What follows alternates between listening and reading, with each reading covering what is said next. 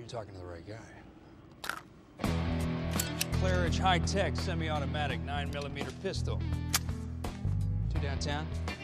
I agree. M24 shotgun, pump action, five round magazine. You know what? You're not a hunter. What am I talking about? I'm getting rid of it. This is the FN 2000 from Belgium. They do make something better than waffles. It's beautiful, but I can tell this isn't disco enough for you, so I'm gonna put it right here. Looking at a Milkor 40 millimeter grenade launcher, tear gas, smoke, hippie control. You're tough. Let me tell you something. Size does matter. Don't let anyone tell you different. This is an M134 762 minigun, six individual barrels, the torso taker, powder maker. Our boys in uniform call it Uncle Gazpacho or Puff the Magic Dragon. Okay.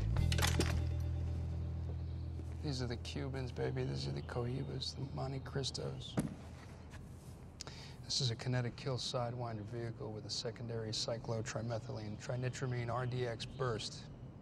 It's capable of busting the bunker under the bunker you just busted. If you were any smarter, it'd write a book. A book that would make Ulysses look like it was written in crayon. And would read it to you. This is my Eiffel Tower. This is my Rachmaninoff's third, my Pieta.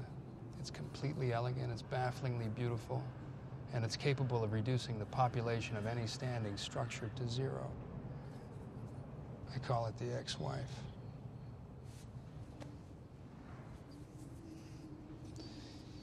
That's the best I got.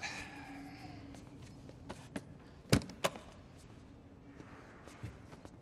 you gonna do this? Give me something here. You're like a sphinx. I, I, I can't read you. I think I'll take it. Which one? All of it. All of it.